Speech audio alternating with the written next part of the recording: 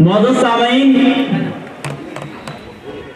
अभी जो हमारे नेक्स्ट स्पीकर हैं इसमें, वो Aamna Ayaz class ninth regular के सितारों से आगे जहाँ और भी हैं। सितारों से आगे जहाँ और भी हैं, अभी इश्क के इंतहा और भी हैं। तो शाही है परवाज, है काम तेरा, तेरे सामने आसमां और भी हैं।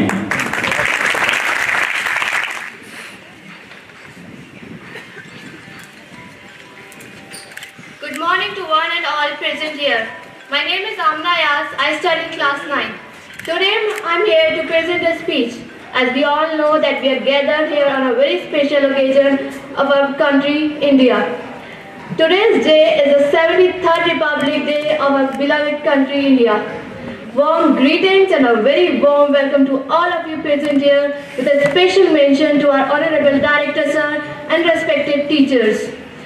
I'm to share my thoughts with my speech on Republic Day.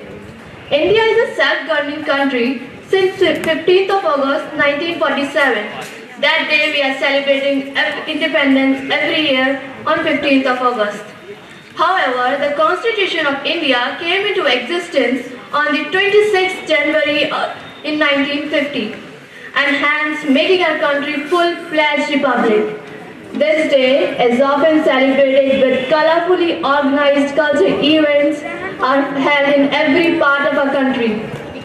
The streets hum with patriotic songs, with true spirits are found in every heart as they share their celebrations. Republic means the highest authority and power in the country is the people living in the country. Only the public has the right to elect their representative political leaders to lead the country based on the constitution in the right direction. The constitution has encouraged all the citizens to have equal social and economic rights. Our great freedom fighters have struggled a lot and as they have sacrificed their lives to get Purna Swaraj means complete freedom in India. Our first president, Dr. Rajendra Prasad said, we have found the vast in this whole land under the jurisdiction of one constitution, one union. It takes our responsibility for the welfare of all men and women living in it. But unfortunately, we are still fighting with crimes, corruption, violence, and terrorism in the country. Our nation's wide problems are pulling our nation back from going to the path of development and progress. So now, I want to conclude my speech with a very beautiful thought. Never forget the people who have sacrificed their everything to bring glory to India. Thank you for listening me so patiently.